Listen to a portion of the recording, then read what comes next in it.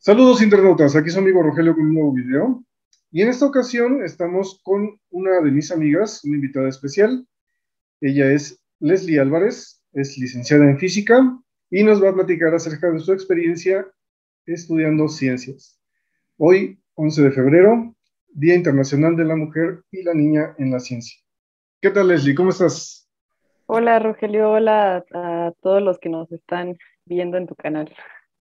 Eh, Leslie, ¿qué nos puedes comentar acerca de, tu carrera? Entiendo que estás en doctorado directo, por lo tanto, de tu licenciatura te fuiste directo al posgrado, bueno, al doctorado, ¿no? Sí, bueno, les comento de, un poquito desde el inicio de, quién, de dónde vengo y así. Eh, en cuanto a mi formación académica, ¿no? Eh, yo estudié la licenciatura en física en la Facultad de Ciencias de la UNAM. Posteriormente decidí que me, me gustó mucho el, la investigación, entonces decidí que hacer un doctorado pues era idóneo para mí, porque en un doctorado pues ya trabajas como tal un proyecto de investigación, entonces ya es más enfocado en, en la investigación, así fue como decidí pasar de la licenciatura al doctorado y actualmente estoy en el doctorado en ciencias biomédicas de la UNAM también. Eh, este doctorado es un doctorado se llama directo, es de los pocos que quedan no solo en México, sino en el mundo. Realmente ya la mayoría de los doctorados te exigen una maestría, pero afortunadamente todavía, todavía hay algunas opciones que no. Y es, pues es un doctorado hasta cierto punto de vista pues más abierto, ¿no? Tal que una persona que viene de las, lo que llaman las ciencias exactas como la física, pues puede ingresar a, a un doctorado de otra área, ¿no? ¿Y qué tal ha sido tu, tu experiencia ahorita estudiando un doctorado? Pues un doctorado eh, tiene, tienes muchos retos y tiene también muchas satisfacciones. Eh, el hecho de ser doctorado directo pues implica muchas cosas, ¿no? Por ejemplo, que te estás de cierta manera saltando un grado, que en este caso sería la maestría.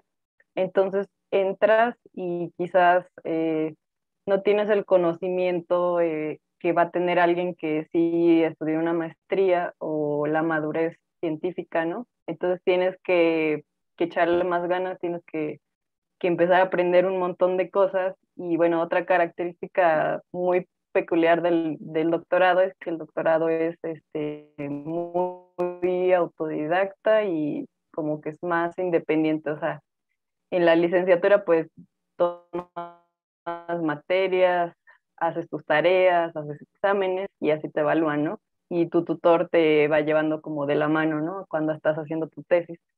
Y pues ya un doctorado ya no es así, ya eh, algunos llevas materias, algunos no. En mi caso, como es directo, sí, sí llevé materias, pero pues son materias complementarias a mi proyecto de investigación. Realmente entras al doctorado con un proyecto ya bien definido eh, para entrar, de hecho, hacemos una entrevista con eh, cinco científicos bastante reconocidos y pues ellos evalúan si tenemos los conocimientos, la capacidad, si, si, tenemos más probabilidades de, de, tener éxito en este ambiente académico y eh, pues evalúan también el proyecto y ya dependiendo de su decisión entras o no entras al doctorado. Entonces, desde el primer semestre, tú ya tienes un proyecto de investigación. Entonces, pues eso lo que cambia es que desde el principio tú ya empiezas a trabajar independiente, como, eh, como iniciándote en la investigación. Wow, suena aquí, yo no podría estar ahí. pues es que yo hace poco platicaba con una amiga y, y, me decía, ya no sé si un doctorado es para mí o no, y pues es un tema complicado, o sea, yo no creo que un doctorado sea para pasar el tiempo, ¿no? O para tener una beca cuatro años o cinco años. Creo que realmente vale la pena entrar cuando uno quiere, quiere hacer investigación y eso no significa que si haces investigación o si haces un doctorado tienes que dedicarte al mundo académico. O sea, puedes ser, eh, hacer investigación y luego moverte a alguna área privada en la industria o análisis de datos. O sea, hay bastantes opciones, ¿no? Pero sí el mayor enfoque pues es académico. Claro. Pues sí, este, es bien interesante para mí porque, bueno, como yo nada más me quedé en la maestría, ya tener un, tema como estructurado que yo proponga y eso me parece un poquito más, pues más difícil, ¿no? Realmente no lo tienes que proponer tú. Este, lo, lo, lo más común es que tu tutor tenga temas y que tú a ti te guste algún tema y pidas trabajar con ese investigador, ¿no? O que tú ya sabes desde, a lo mejor tienes una idea y puedes platicarlo con algún investigador que sabes que trabaja el tema y la van complementando o así, pero eh, sí, sí es difícil, es raro que un alumno como tal llegue así de la nada ya proponiendo todo el proyecto, ¿no? Pero sí, pero sí al menos ya entras con, con ese enfoque, ¿no? Bien, Les, pues este, recordando un poco así, resumiendo de manera media charra, 11 de febrero, Día Internacional de, de la Mujer y la Niña en la Ciencia, una fecha que la UNESCO estableció para conmemorar, para reconocer y fomentar la participación de la mujer y de las niñas en la ciencia. Esto debido a que, bueno, como sabemos, parte de la historia, en otras épocas y, bueno, también en la actual, en algunas culturas, países, se le da poca importancia o incluso pocas oportunidades a las mujeres para figurar en, la ciencia. Eh, Leslie, para todas las mujeres eh, jóvenes o, muy jóvenes que nos están viendo y que tengan algún interés por estudiar alguna ciencia, alguna ingeniería, ¿qué les recomendarías tú? ¿Qué, consejo les darías? ¿Qué aptitudes, qué, qué actitudes deberían desarrollar o tener para poder dedicarse a alguna de estas ciencias? Pues yo eh, considero, y creo que muchos científicos también lo consideran, que la curiosidad es muy importante para, para ser científico. Y sobre todo, si este mensaje va para niñas, adolescentes, pues con más razón, ¿no? A veces uno, eh, cuando se vuelve adulto, ya pierdes la curiosidad o pierdes este, como que quieres hacer cosas más de adulto. Entonces, pues más bien en este caso, pues la ciencia no, no crece en ese sentido, más bien es una cualidad que, que es de las mejores cualidades que pueda tener un científico.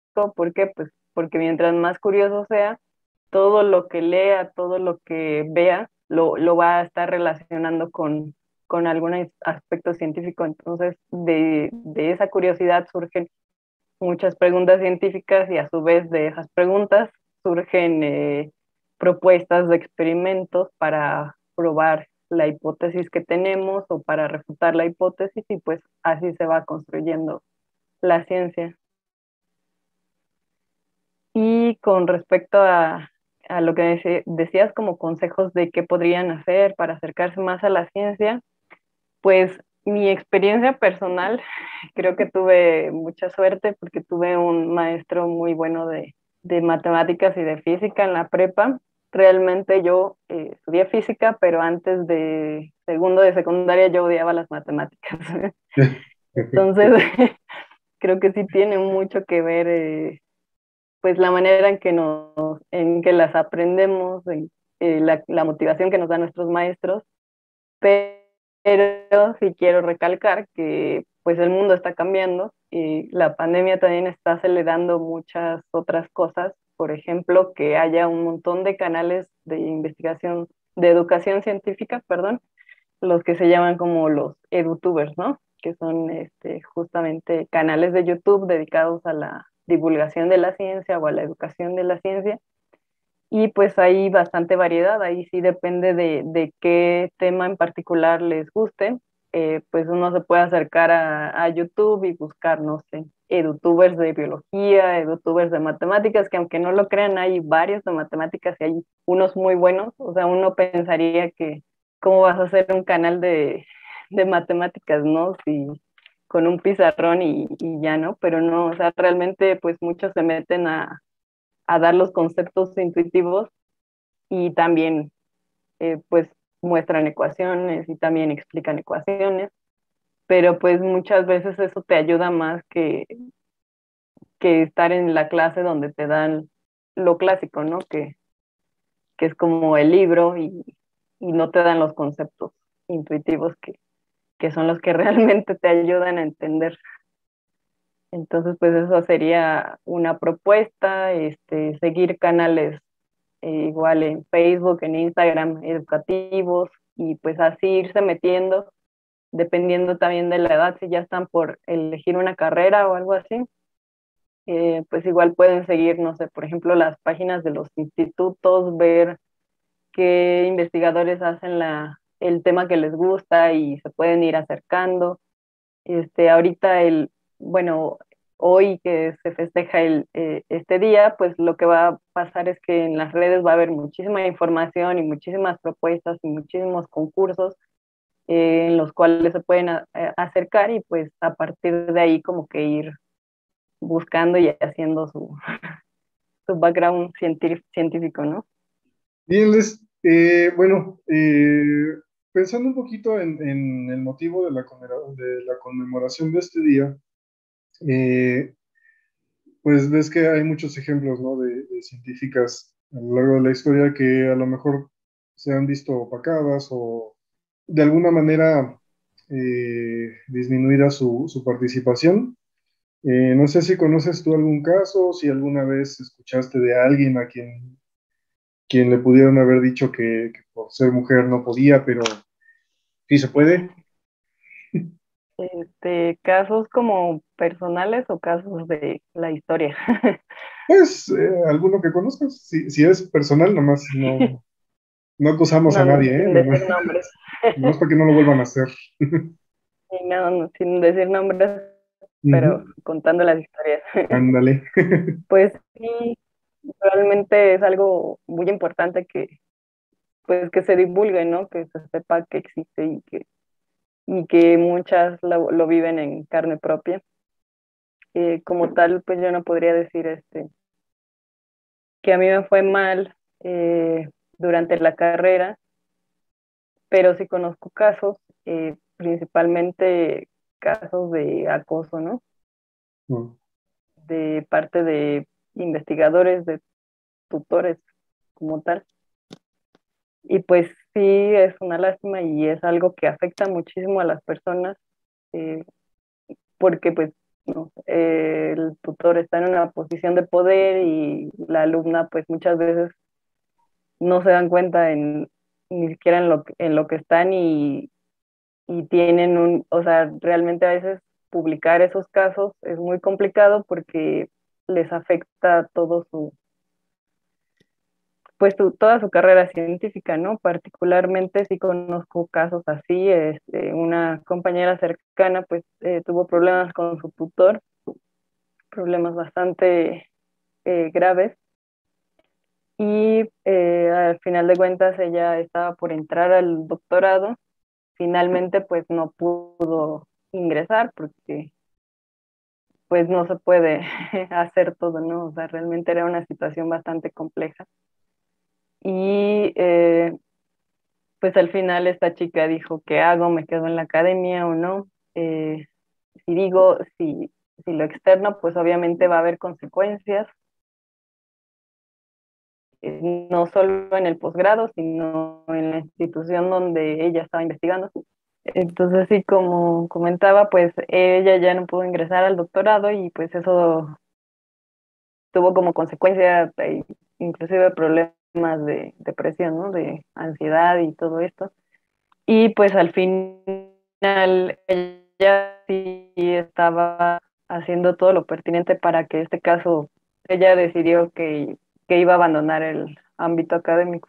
Y pues ese fue uno de los factores que influyó en, en su decisión, ¿no? De cuando esto se dé a, a, conocer a nivel pues ya más general, ya más público, pues obviamente para ella va a ser complicado, ¿no? Emocionalmente, entonces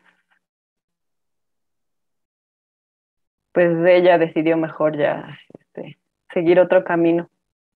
Entonces, pues pues sí es algo a reflexionar y saber que realmente existe y, y que más, o sea, más allá de lo que puedan eh, pensar algunos investigadores, pues realmente la vida de... Y pues sí es algo que se debería de hacer algo al respecto, ¿no? Sí, claro. Eh, digo, a pesar de que el, el, día conmemora y reconoce y fomenta la participación de la mujer en la ciencia, por aquellos casos de que a lo mejor eh, les roban trabajo o simplemente no les reconocen porque son mujeres, es importante también mencionar esto, ¿no?